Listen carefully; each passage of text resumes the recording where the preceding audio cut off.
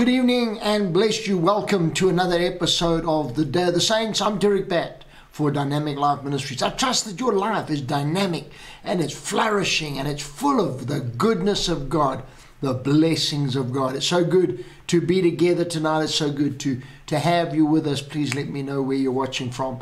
So bless you. Let us get straight into the Word of God tonight because of time. I thank God for the richness of His Word. I thank God for what He's doing, what He's saying, and how He's just ministering to us and through us by the power of the Spirit of God. Let's pray together.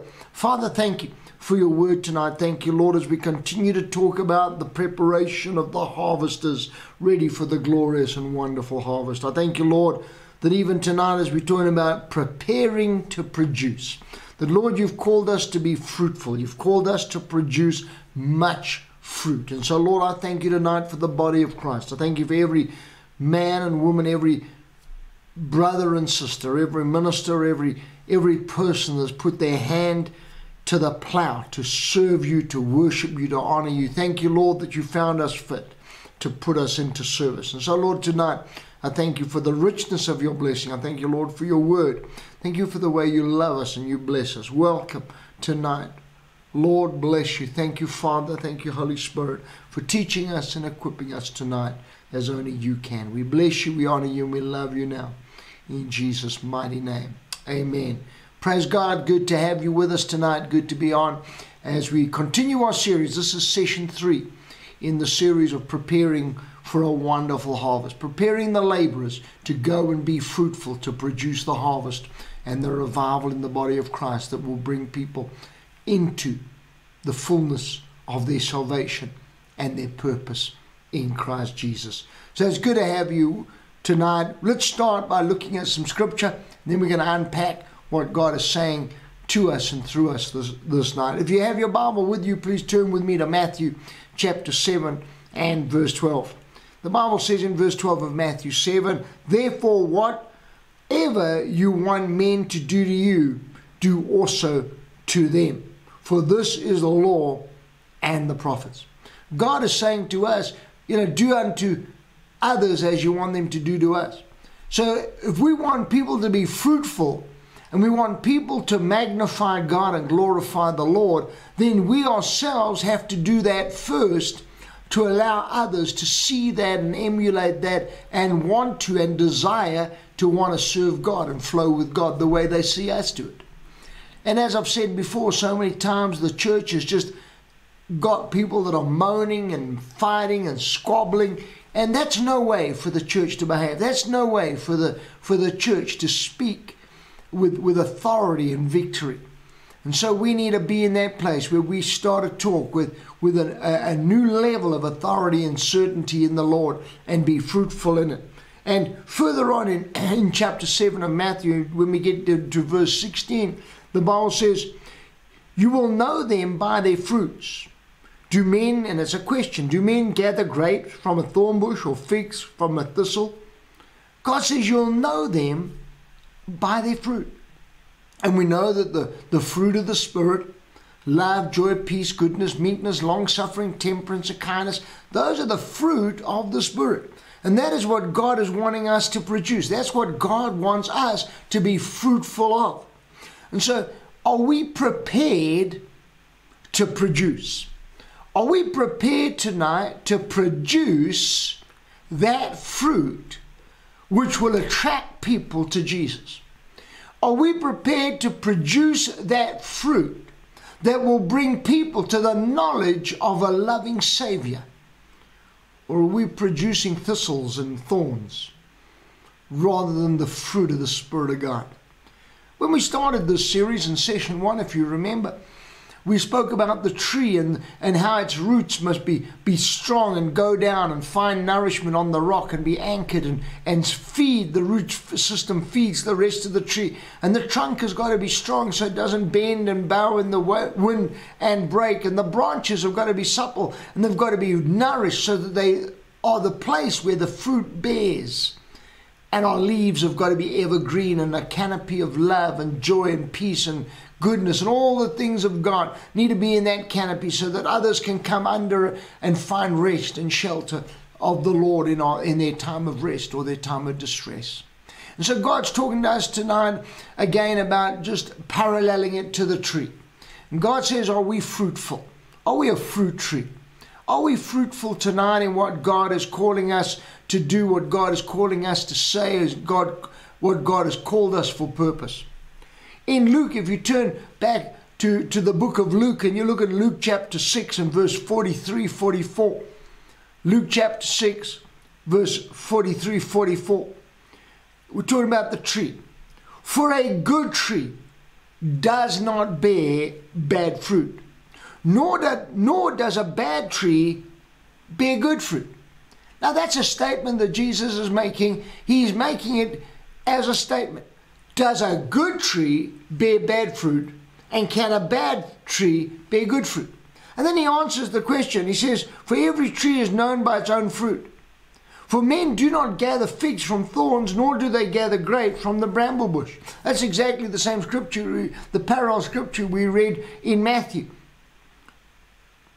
Galatians, if you remember in Galatians chapter 6, verse 7, God says, listen, Paul's talking to the Galatians, says, listen, God's not mocked.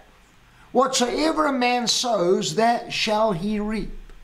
And tonight I want to talk about us sowing the fruit of righteousness, sowing the fruit that is godly in our lives that will bring forth such an excitement in people that they want to actually come and get what we've got. Now, many Christians don't have that joy, don't have that peace, don't have that excitement for the Lord that attracts people to Jesus. Sometimes, you know, if we had to stand in a lineup, you know, like when, when the police put, put suspects uh, in a line with other people and they asked the, the victims to identify who was the who was the person, who was the perpetrator and the, the, the people that were, were the victims can identify them from the lineup. Well, tonight, if we lined up eh, with a group of people out of the world, would we stand out as a Christian? Would we radiate the love of God, the power of God, the fullness of God, the fire of the Holy Spirit? Would we radiate, would we produce such fruit in our lives that it would just radiate, and I want to even use the word dominate that room? It fills the room with the presence of God. The power and purpose of God is so strong in our lives when we are that strong tree, the planting of the Lord. And so we need to make sure that we are that fruitful in everything that we do. You see, unfortunately, folk, and, and you know, I've been saying things that, that I know some people don't like and they say it's too harsh or it's too straight. But you know, our Christianity is not a Sunday movement. We're not only Christians on a Sunday or when we're gathered together with other believers in the house or the assembly or the sanctuary, whatever uh, word you prefer. That's not when we need to act Christ like. We need to act Christ like all the time. We need to be in the place where, where our fruit of, of the Spirit of God that is in us just radiates through us and from us in such a way that everyone is just seeing the, the, the fullness of God and the power of God in our lives. And so I want to talk about some, some ABCs, as it were, of what is good seed. Are we sowing? Are we producing? Firstly, are we producing good seed? So that we can sow good seed. See, if we don't produce good seed, we can never sow good seed. And God wants us to be fruitful, but to be fruitful, we have to produce good seed. And when we got born again, the Spirit of God, the seed of God in Christ Jesus entered into us and we became fruitful or we have the ability to be fruitful. Now, you see, many Christians, we don't see ourselves as fruity. We don't see ourselves because many Christians have taken that to want to hold it for ourselves. We've wanted that fruitfulness for our lives. And folk, there's nothing wrong with having that fruitfulness in our own life. But God wants us to have the fruitfulness not just for ourselves, but so that others can eat and enjoy the fruit of it. God wants us to be in such a place where everyone takes the fruit that we have and they want to share it and say, Well, I got this fruit from, from brother so and so. I got this uh, uh, fruit from Sister So and so. The fruit that God gives us is so that we can produce it so others can see the glory of God. We need to be fruitful. So let's talk about how to always have that fruit and are we ready to produce fruit in our lives? The first thing I want to talk about is attitude. Do we have an attitude of gratitude? Do we always, in all our being, walk, talk, shine, radiate, whatever words we want to use? Do we have an attitude of gratitude towards the Lord? I was with a just having a, a, a call, a Zoom call yesterday with a friend of mine, a, a blessed minister of the gospel, and we were talking about how many times do we thank God for what we don't have? See, we're always busy thanking God for what we do have. And I thank God for all the blessings. I thank God for everything that He gives us. But there's also times in my life where I want to thank God for what I don't have. And I don't want to be negative and, and, and, and be heavy with you, but I want to say this I thank God for a lot of the things in my life that I don't have anymore. I don't have cancer in my body anymore. I thank God that I don't have cancer. I thank God that I'm healed. I thank God that I've got a beautiful marriage and I've got a loving, adoring wife who loves the Lord more than she loves me. I thank God that I don't have fights and, and, and turmoil in my home. I thank God that I don't have that fear of going home to open the door to a barrage of, of, of, of, nonsense and fighting and, and heavy atmosphere. I thank God every day for that. In that, I thank God for what I do have. But you see, many times we need to have an attitude of that gratitude that says, Lord, thank you that you took this from me. Thank you, Lord, that you walked me through that situation. Thank you, Lord, that that thing that I had is in my past and it's washed by the blood of the Lamb and it's cleansed and I'm free and I'm clean in Jesus' precious name. You see, we need to say, Thank you, Lord. We need to have an attitude of praise. We need to have an attitude of worship. But also, we need to have an attitude of fruit producing. You see, many times we give out of our excess. We need to be giving out of our substance. And I'm not talking here financially, although it does come into it. I'm talking about our lifestyle of, of giving all the time. Our fruit, the fruit of the Spirit, the fruit of righteousness, the fruit of the Lord. We need to be giving that out all the time. Like Paul said when he was talking about the gifts of the Spirit in Romans. Paul said, I long to come to you that I may impart to you a spiritual gift that you may be established our conversation when we get up in the morning and we, we're thanking the Lord and praising the Lord and just blessing the Lord, our, our attitude should be, Lord, thank you for this new day. Thank you, Lord, that today I get to produce the fruit in my life that you've placed in me by the Spirit of God, that I can produce that fruit that others may see, know, and taste and just understand that the Lord is good. See, that should be our attitude. Have we got an attitude that is prepared to produce the fruit of God? Many times we, we, we, we stay in our bitterness, we stay in our, our despair, we stay in our destruction because we're not walking in the fullness of what God has for us. We walk in something else. We walk in the power, the power of, of, of negativity. And God doesn't want us to walk in that negativity. He wants us to produce the fruit. Instead of saying, Oh my Lord, it's such a mess, we need to say, Praise God for the victory. We have a voice of victory. We have a voice of triumph. We have the power of the Spirit of God that is in us and, uh, and, and flowing through us. And we need to walk in that power and that purpose of God every single moment of our life, not just the Sunday. It's this is not Christianity. You see that religion is a Sunday thing. Religion is is for a Sunday, but Christianity is for an eternity. Praise God. So, do we have the right attitude? Let's examine our hearts. Let's examine our attitude. Do we have the attitude of gratitude? Number two, do we always treat others like we want them or how we want God to treat us? I'm not even going to say as we want them to treat us. Do we treat others as we want God to treat us? We always want God to be merciful to us. We always want God to be kind and gracious to us. Amen. And that's right, He is. But do we always treat others with that same mercy, that same love, that same grace, and that same gratitude? See, when we start to, to want to produce after God's kind, not after our own kind, we're not building disciples to ourselves, we're not building followers of ourselves. We're building the kingdom of God. We're advancing God's kingdom and bringing people and aligning people to Jesus. We're not aligning them to ourselves. So, are we ready to produce? And are we prepared to produce the fruit? Are we treating others as God treats us? You know, that's a, quite a hard one, and often we fail. I've got my hand up first. I've, I've failed at that many times. I've got anxious with people. I've got tense with people. Sometimes I've got short with people because I get frustrated.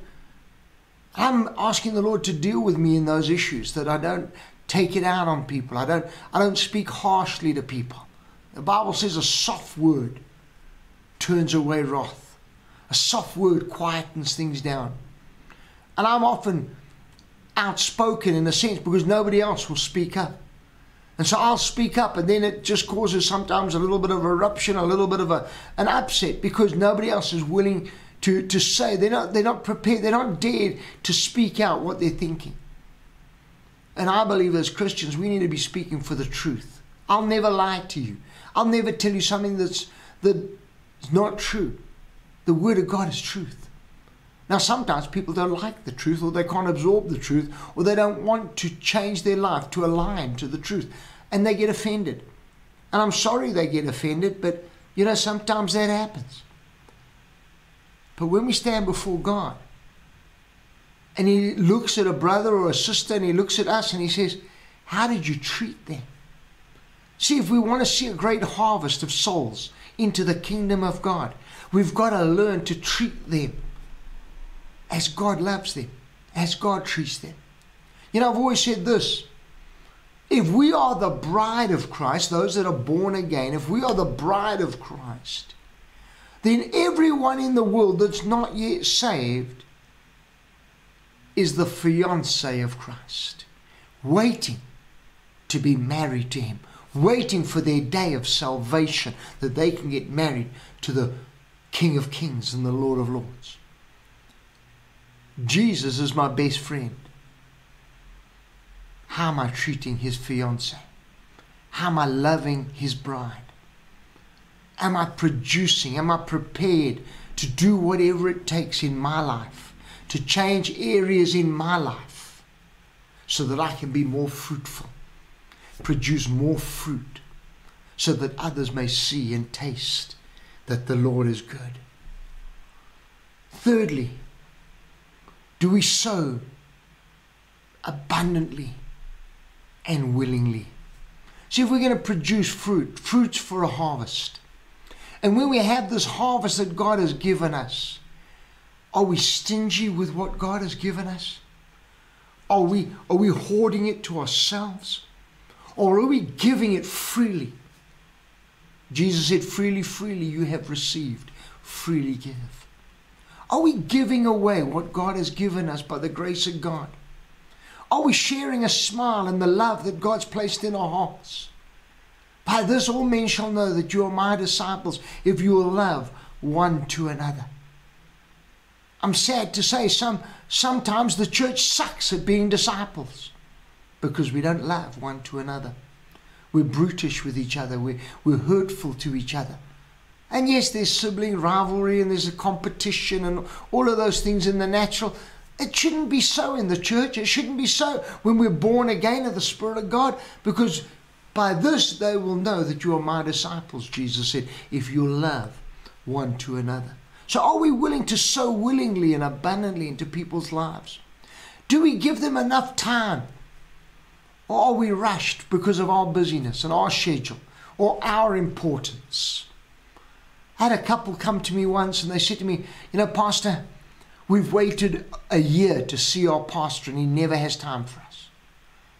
And that makes me sad to believe that even if the even if the, the congregation size was was numerous, surely the pastor would be able to see them, even if it's for half an hour, just to greet them and minister to them and share with them. You see, we get so full of our own importance and our own position, our own status, that we actually block people and we put barriers between us and people. If we want to prepare to produce good fruit, we've got to set time aside to sow and, and, and share abundantly. One of the things that we all have the same amount of is time. Every one of us is given 24 hours in a day. Nobody gets any more, nobody gets any less. It's how we use it. And so tonight I want to say, let's be willing to prepare to produce more available time for people in need, people that are lost, people that are vulnerable, people that are hurting. Let's give more time. I know that sometimes we want to project manage it and just give them the answer, give them the word. Well, just do the word and you'll be okay. And that's true, they will. But you know, Jesus loves us and cares for us. Sometimes, you know, like when, when we have a small child and they get hurt, mommy just picks up that little baby or that little child and, you know, sort of kisses the anar where their knees sore, where they've grazed their leg or whatever, and just kisses it better, and then just lets them sit on her lap for a couple of minutes and their, their tears stop. Hey, the sore didn't go away, the scratch didn't go away, but just that couple of minutes just sitting in mommy's arms, just being loved and held and embraced makes all the difference. Are we prepared to give willingly and abundantly of our time to people that want to know the Lord and want to get to, to grow in the goodness of God, the fullness of God? Are we giving them enough time? Or do we just blow them off and just push them away by, by our importance and our busyness? God really loves us and wants us to, to show that same love, that same care, that, that same consideration. But you know, it's a two way street.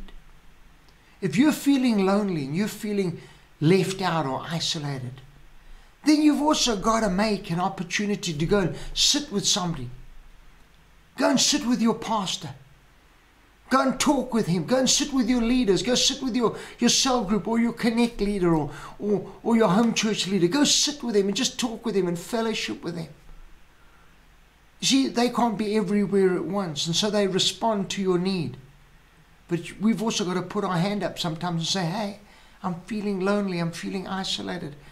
Won't you help me? And then I trust that the, those leaders will give the time that you need to, to just talk with you and be soft and gentle with you.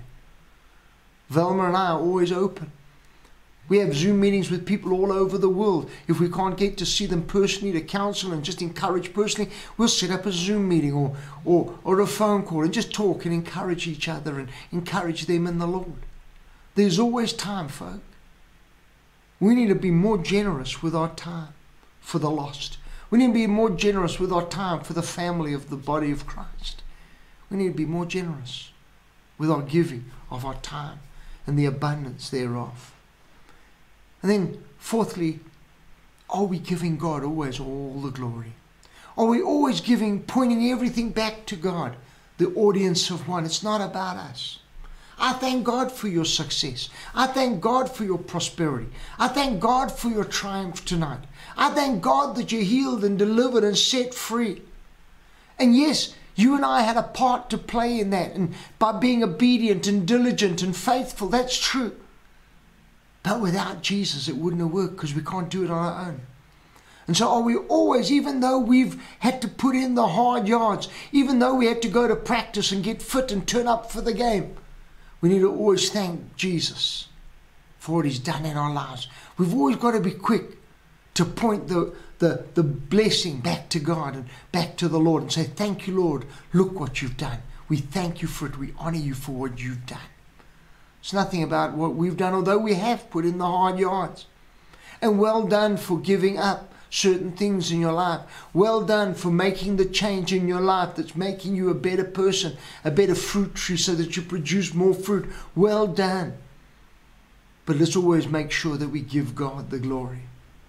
Let's make sure that we honor the Lord in all that we do because without the Lord we are nothing. So let's move to the place where we thank God with that attitude of gratitude, with that attitude of thanksgiving, that we treat others as Christ treats us with love, with dignity, with respect. Let us make sure that we give of our time to listen and to make time for people that they feel special because they are. I used to be guilty of not listening because people would start to unpack with me and unbundle to me. And I just want to be so quick to give them the answer. It, the answer's in the Word, the answer's Jesus. Hallelujah. Let's just pray.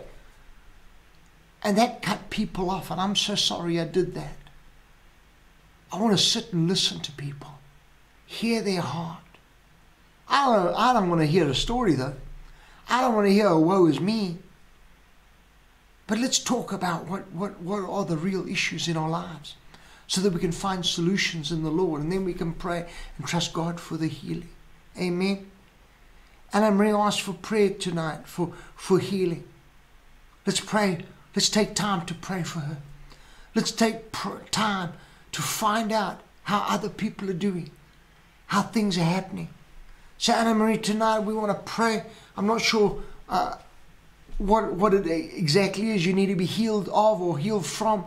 But I'm praying, God, let's reach out to you right now. Everyone that's watching tonight, won't you just lift your hand and pray with me? Let's come in agreement for for Anne Marie tonight. Father, thank you for your healing. Thank you, Lord, for your blessing upon our precious sister. Lord, thank you for, for your time that you're omnipotent and ever present. That, Lord, your glory and your anointing would just come and flow and touch and heal right now. You know better than anyone, Father, the need. You know, Father, where, where there's anxiety and there's anxiousness. And thank you, Lord, for your healing right now. Just to come and to touch, to bless, to heal, and to set free. We come in agreement with you, Father. We come in agreement with your word that your healing would flow. And there would just be such an anointing release on our sister right now that she would just feel and receive that healing and walk in it now. In Jesus' name. We thank you for that, Lord.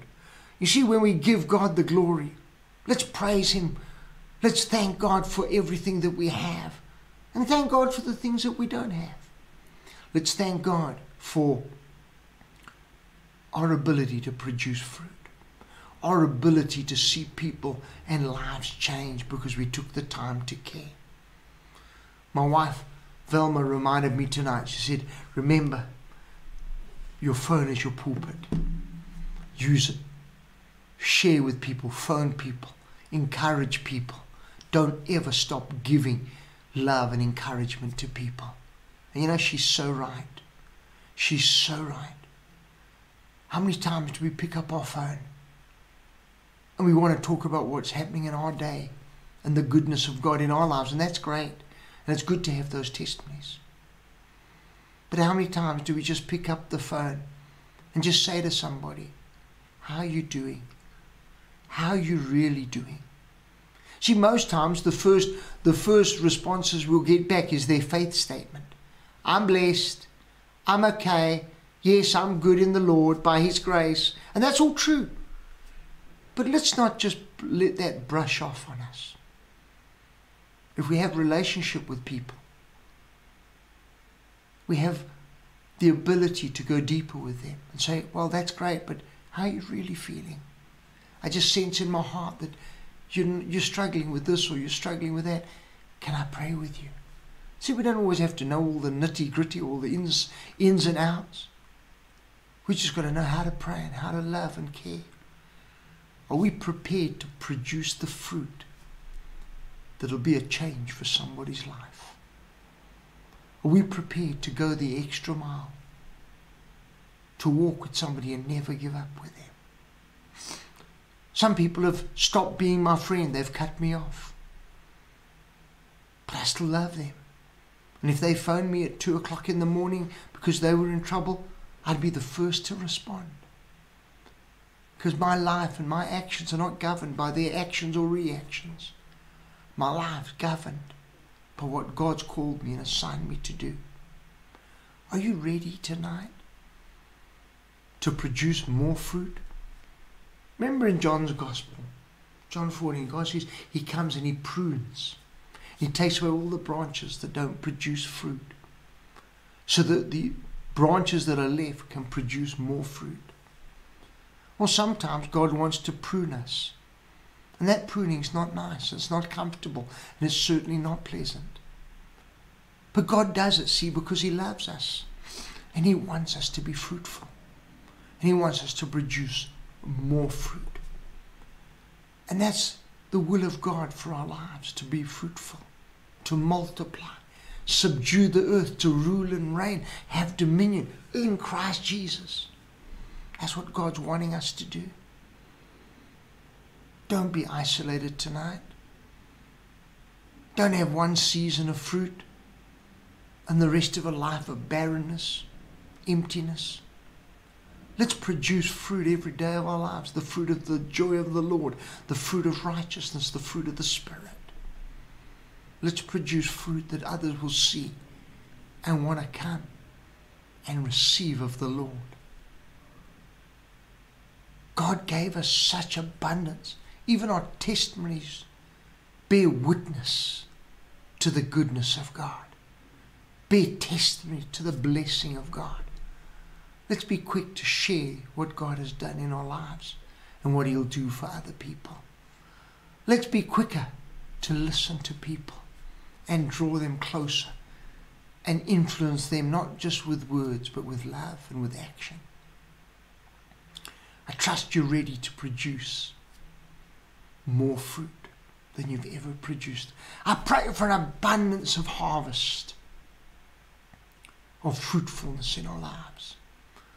That might mean your business may, may prosper and grow. That might mean that your family situations will change and there'll be peace and harmony. Whatever it is that you're trusting God for, I pray that your fruit will be produced, that others will see and know what God can say. I want us to be fruitful. God commanded us to be fruitful and multiply. The fruit that we need is the fruit of the Spirit, the fruit of righteousness, the fruit of the Lord. Let's prepare ourselves to produce that fruit which will bring forth a mighty harvest. People will see you and want what you have.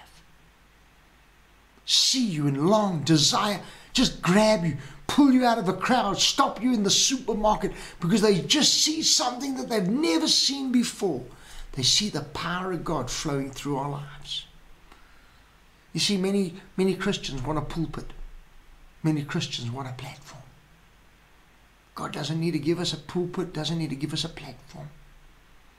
He's given us a community wherein we can radiate the love of God and share the goodness of God.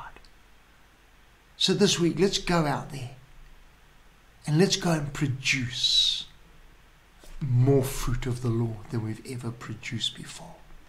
When you talk to farmers, they talk about a bumper crop. This year's been the best crop of my life. Well, I pray that the week ahead of us is the most fruitful week of your life. I pray God would bless you from this word tonight. I pray God would just infuse you and empower you with this word tonight. Put a mark on, a, on your fridge door.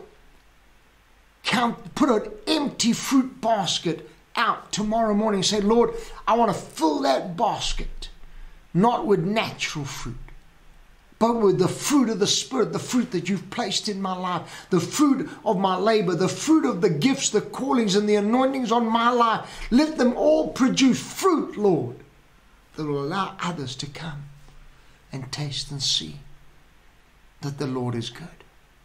I trust you've been blessed. Thank you for our partners. Thank you for those folk that are with us and have, have walked with us and, and, and spent time with us in the Lord. Thank you for the for the commitment that you make. Thank you for those that watch and view our YouTube channel. Thank you for those who follow us on Facebook and stream with us on, on our, our broadcasts, on our programs. I trust you've been richly blessed, highly favored tonight of the Lord. If this word has blessed you, please share it. Please share it with your friends and those that you influence so that others can become fruitful also. Thank you for those that give. Thank you for those who sow financially into our ministry. We love you and appreciate you. But more importantly, thank you for those that love us. I want to say especially tonight for all of those that show your love and appreciation. Thank you for that. That really helps us. That blesses us because we also sometimes carry burdens and, and carry the weight of what we're doing, the responsibility. And it's so good when people just send me a message and say, Derek, we love you, thank you. That word touched me, that word blessed me. Not that we're looking for man's praise. But I want to tell you, if you encourage others, you yourself will be encouraged. Thank you for listening. Thank you for watching. I pray that this week you have a dynamic life. Not a routine life, not a mundane life, not a, certainly a boring life, not a tra- tragic life. But I pray this week coming you have a dynamic life in the Lord. That God would radiate and manifest in you and through you. That others would know and see that He is good. We love you. We bless you. And we appreciate you. Thank you so much for watching. Thank you so much for being with us tonight. May God richly bless you, touch you, and prosper you in Jesus' mighty name. May you have a voice of victory, a voice of an overcomer with an attitude of gratitude. Good night, and God bless you.